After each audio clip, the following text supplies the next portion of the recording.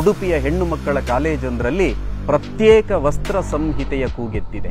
ನಮ್ಮ ಮತದವರಿಗೆ ಪ್ರತ್ಯೇಕ ವಸ್ತ್ರ ಸಂಹಿತೆ ಬೇಕು ಎಂದು ಎದ್ದಿರುವ ಕಿಡಿಯ ಬಗ್ಗೆ ಎಲ್ಲರೂ ಬಹಳ ಎಚ್ಚರಿಕೆಯಿಂದಿರಬೇಕು. ಇವತ್ತು ಪ್ರತ್ಯೇಕ ವಸ್ತ್ರ ಅಂತ ಹೇಳದಂಥವರು ನಾಳೆ ಪ್ರತ್ಯೇಕ ಜಿಲ್ಲೆಯನ್ನು ಕೇಳ್ತಾರೆ, ನಾಡಿದ್ದು ರಾಜ್ಯವನ್ನು ಕೇಳ್ತಾರೆ. ಮುಂದೆ?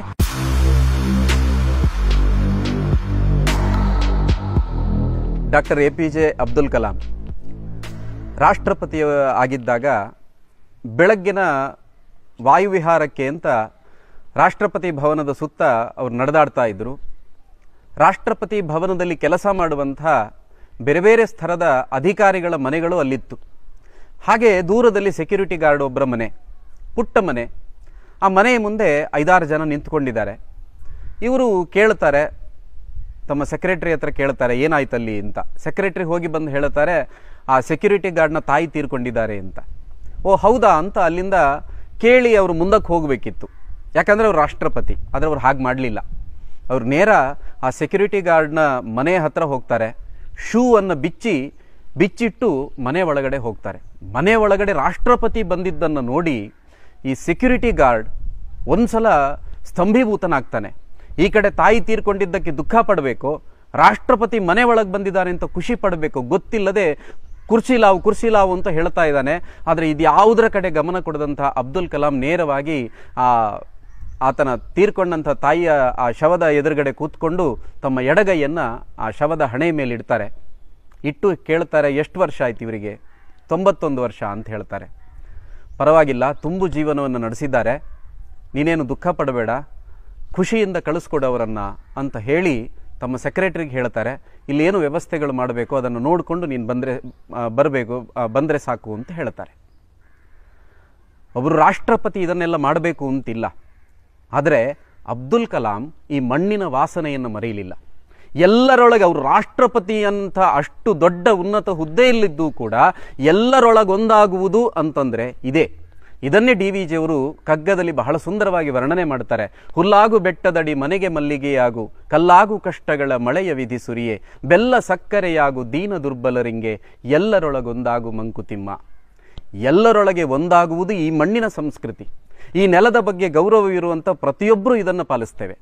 ಸಾವಿರಾರು ವರ್ಷಗಳ ಪರಕೀಯರ ಆಕ್ರಮಣದ ಕಾರಣದಿಂದ ಒಂದಾಗುವ ಬದಲು ಪ್ರತ್ಯೇಕವಾದದ ವಿಷಬೀಜ ಬಿತ್ತುವ ಕಾರ್ಯವೂ ಸ್ವಾತಂತ್ರ್ಯ ಪೂರ್ವದಲ್ಲಿ ಪ್ರಾರಂಭ ಆಯಿತು. ಈ ದೇಶ ನಮ್ಮ ತಾಯಿ, ಆ ತಾಯಿಗೆ ನಾನು ವಂದಿಸುವೆ. ವಂದೇ ಮಾತ್ರಂ. ಇದು ಈ ನೆಲದ ಮಂತ್ರ ಆಗಿತ್ತು. ಆದರೆ ಮೊದಲ ಬಾರಿ ಮೊಹಮ್ಮದ್ ಅಲಿ ಜಿನ್ನಾ ಒಂದೇ ಮಾತ್ರಂ ನಾವು ಹಾಡೋದಿಲ್ಲ ಅಂತ ಹೇಳ್ದ. ವಂದೇ ಮಾತ್ರಂ ಹಾಡ್ತಾ ಇದ್ದಾಗ ಮೌಲಾನಾ ಮೊಹಮ್ಮದ್ ಅಲಿ ಆ ಸಭೆಯನ್ನು ಧಿಕ್ಕರಿಸಿ ಹೊರ ನಡೀತಾರೆ. ಈ ದೇಶದ ಸಂಸ್ಕೃತಿಗೆ ಬೆಲೆ ಕೊಡದವರ ಮೇಲೆ ಅಂದು ನಿರ್ದಾಕ್ಷಿಣ್ಯ ಕ್ರಮ ತೆಗೆದುಕೊಳ್ಳಬೇಕಾದವರು ತುಷ್ಟೀಕರಣದ ಮಂತ್ರವನ್ನು ಪಠಿಸಲಿಕ್ಕೆ ಪ್ರಾರಂಭ ಮಾಡ್ತಾರೆ. ಬೇಕಾದರೆ ಒಂದೇ ಮಾತ್ರಮ್ಮನ್ನು ತುಂಡು ಮಾಡ್ತೇವೆ ಅವರನ್ನು ನೋಯಿಸಲಾರೆವು ಎನ್ನುವ ತನಕ ಆ ತುಷ್ಟೀಕರಣದ ಕ್ಯಾನ್ಸರ್ ಹಬ್ಬಿತು.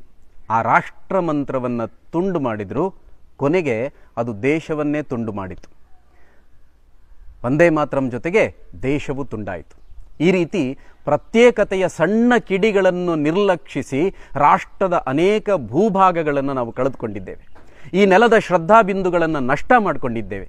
ಹೀಗಿರುವಾಗ ಉಡುಪಿಯ ಹೆಣ್ಣು ಮಕ್ಕಳ ಕಾಲೇಜೊಂದರಲ್ಲಿ ಪ್ರತ್ಯೇಕ ವಸ್ತ್ರ ಸಂಹಿತೆಯ ಕೂಗೆದ್ದಿದೆ ಶ್ರೀಮಂತ, ಬಡವ, ಜಾತೀಯ ತಾರತಮ್ಯಗಳು ಇರದೆ ಎಲ್ಲ ವಿದ್ಯಾರ್ಥಿಗಳು ಸಮಾನರು ಎಂಬ ಭಾವಕ್ಕಾಗಿ ಶಾಲಾ ಕಾಲೇಜುಗಳಲ್ಲಿ ಸಮವಸ್ತ್ರದ ಪದ್ಧತಿ ಇರುವುದು.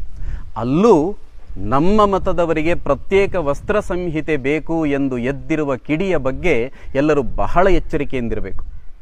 ಎದ್ದಿರುವ ಕಿಡಿಯನ್ನು ಆರಿಸುವುದರ ಬದಲಾಗಿ ನೀವು ಚಿಂತೆ ಮಾಡಬೇಡಿ, ನಿಮಗೆ ಆನ್ಲೈನ್ ಕ್ಲಾಸ್ ಮಾಡ್ತೇವೆ ಅಂತ ಹೇಳಿಕೆಗಳನ್ನು ಕೊಡುವವರು ನಿಮ್ಮ ಅಧಿಕಾರಾವಧಿಯನ್ನು ಕಣ್ಣು ಮುಂದೆ ಇಟ್ಟುಕೊಂಡು ಮಾತಾಡಬೇಡಿ, ಇತಿಹಾಸದಲ್ಲಿ ನಡೆದಿರುವ ತಪ್ಪುಗಳಿಂದ ಪಾಠ ಕಲಿತ್ಕೊಂಡು ಮಾತಾಡಿ.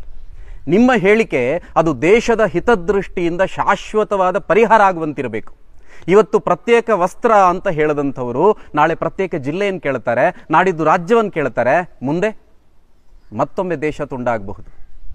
ಮನೆಗೆ ಮಲ್ಲಿಗೆಯಾಗು ಎಂದಿದ್ದಾರೆ ಡಿ ವಿ ಜಿಯವರು. ಒಂದು ತಾನು ಹುಟ್ಟಿದ ಮನೆ. ಮನೆ ಅಂತಂದ್ರೆ ಒಂದು ತಾನು ಹುಟ್ಟಿದ ಮನೆ. ಮತ್ತೊಂದು, ಬದುಕಿರುವಾಗ ಆಟವಾಡಲು ಮಡಿಲಲ್ಲಿ ಜಾಗ ಕೊಡುವ, ನೀರು, ಬೆಳಕು, ಗಾಳಿಯನ್ನು ತಾರತಮ್ಯವಿಲ್ಲದೆ ನೀಡುವ, ಬದುಕು ಮುಗಿದ ಮೇಲೆ ತನ್ನ ಒಡಲಲ್ಲಿ ವಿಶ್ರಾಂತಿಗೆ ನೀಡುವ ಆ ಭೂಮಿ ತಾಯಿ ಅದು ಮತ್ತೊಂದು ಮನೆ. ಆ ಮನೆಗೂ ಕೂಡ ನಾವು ಮನೆಗೆ ಮಲ್ಲಿಗೆಯಾಗಬೇಕು ಅಂತ ಹೇಳಿದ್ದು ಡಿ ವಿ ಜಿಯವರು ಹೇಳಿರುವಂಥದ್ದು, ಮನೆಗೆ ಮಲ್ಲಿಗೆಯಾಗುವುದು ಸಾಧ್ಯವೇ ಇಲ್ಲ ಅನ್ನುವಂಥ ಮಗ್ಗುಲ ಮುಳ್ಳುಗಳನ್ನು. ನಮಸ್ಕಾರ.